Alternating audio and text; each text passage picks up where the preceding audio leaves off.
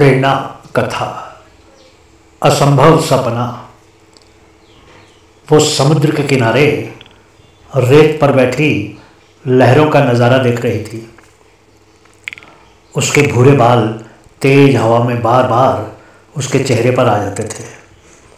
वो अपने हाथ से ना जाने कितनी ही बार अपने बालों को अपने चेहरे से हटा चुकी थी। वो दुनिया से पूर्ण रूप से अनभिज्ञ अपनी ही दुनिया में खोई हुई थी। अकेली? उसने अपने चारों तरफ़ देखा कि किसने वो प्रश्न किया था। लीना नहीं जानती थी कि कोई उसको बहुत देर से देख रहा था। उसने देखा कि उसके पीछे एक लगभग चालीस वर्ष का पुरुष खड़ा था। उसके काले बालों में कहीं कहीं सफ़ेद लकीरें भी दिख रही थी, परंतु उसकी भूरी आँखों में सूरज की सी गर्मी थी। लीना ने उसकी आँखों में एक अनूठे प्रकार का हल्के और गाढ़े रंगों का मिश्रण पाया। वो मंद मंद मुस्कुरा रहा था। उसके चेहरे को देखने से ही लीना को वो प्रभावशाली प्रतीत हुआ। लीना ने कुछ रुक कर उसको कहा, मुझे अकेले बैठकर समुद्र की लहरों को देखते रहना बहुत अच्छा लगता है। उसकी आँखें अभी भी लीना पर जमी ही होती। वो थोड़ा और भी करीब आ गया। लीना को उसके शरीर से उठ रही महँगी सेंट की सुगंध भा गई। लीना पिछले एक दशक से अकेली थी और अब ये पुरुष उसके पास ही खड़ा था।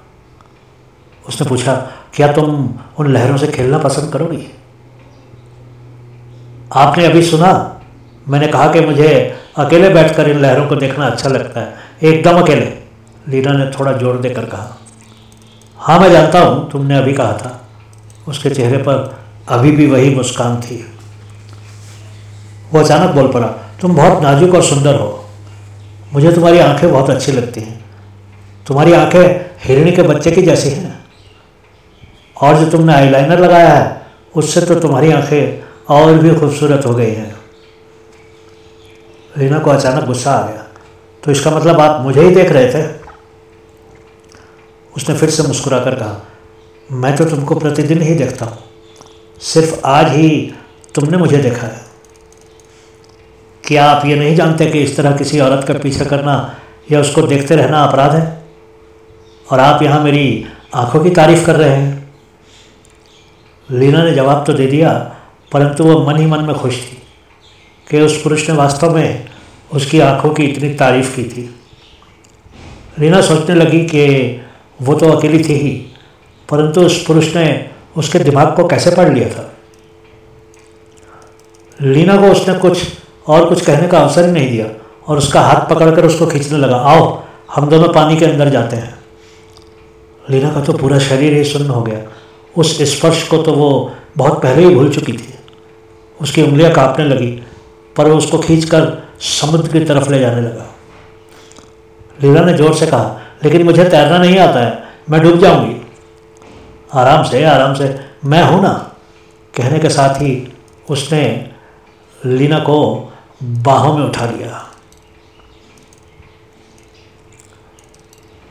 लीना उसके दिल की धड़कन महसूस करने लगी। वो उसको समुद्र में ले गया और उसको कई बार पानी में डुबाया।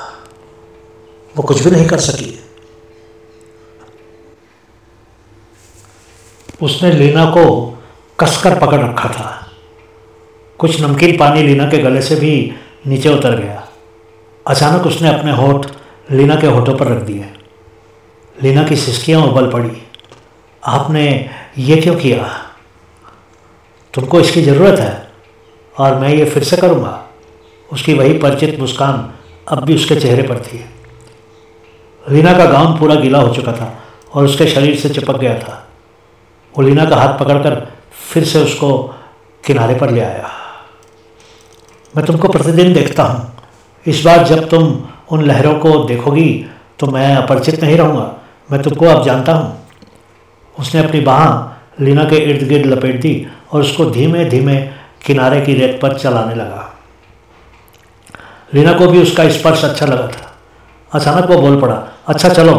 अब हम दोनों के लिए एक गर्मा गर्म कॉफ़ी तैयार करो, कहीं हमें सर्दी ही ना लग जाए।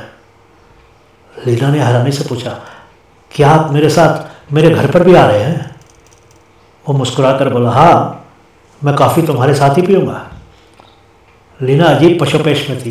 वो सोचने लगी कि क्या उसको, उस पुरुष से प्रेम होने लगा था? वो समझ नहीं पा रही थी कि उसको क्या हो रहा था। वो बिल्कुल अकेली थी और वो पुरुष एकदम अपरिचित था। उसने घर के बाहर रुक कर कहा, तुम्हारा घर बहुत सुंदर है। समुद्र के किनारे ऐसे घर का होना तो एक प्रकार का उपहार ही है। लीना ने कहा, तुमको मेरे घर का भी पता है? उसने मुस्कुरा कर लीना को अपनी तरफ़ खींचा, मैं तुम्हारे बारे में सब कुछ जानता हूँ। मैं जानता हूँ कि तुम मुझसे प्रेम करती हो। लीना और उस पुरुष की आँखें एक बार फिर से मिली। लीना के लिए तो समय जैसे रुक गया। उसने एक बार फिर से लीना के होठों को चूम लिया। उस चुम्बन की लीना कितने वर्षों से कमी महसूस करती आई थी। लीना ने कहा, यहाँ ये सब मत कीजिए, ये सार्वजनिक क्षेत्र है। वो उसके साथ लीना के कॉटेज के अंदर आ गया। लीना को तो दरवाज़ा खोलते समय भी अपने हाथ कांपते हुए महसूस हुए थे। उसने अंदर से दरवाज़ा बंद कर दिया। लीना ने कहा, आपने दरवाज़ा क्यों बंद कर दिया? तुम क्या चाहती हो कि जब हम प्रेम करें तो हमको दुनिया देखे।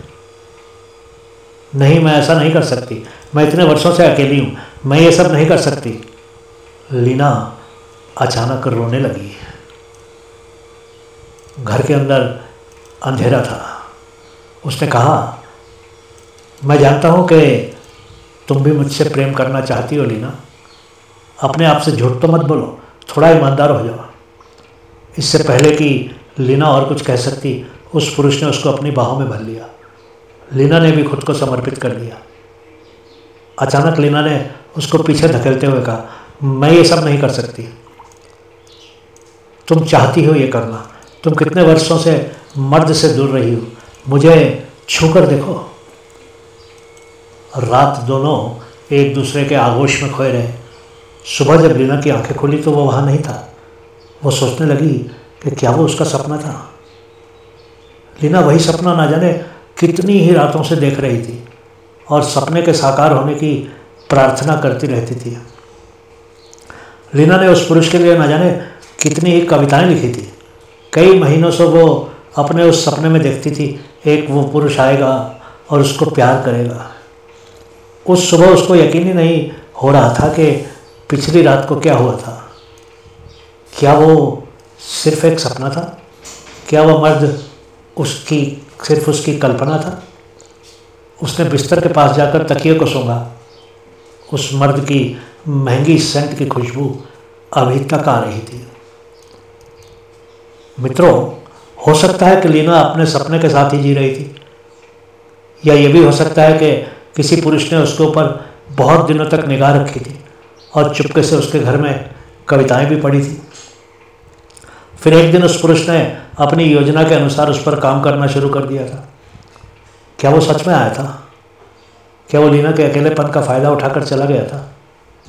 क्या ये सब लीना की कल्पना ही थी? आप भी अपने विचार नीचे लिख भेजिएगा। बहुत बहुत धन्यवाद।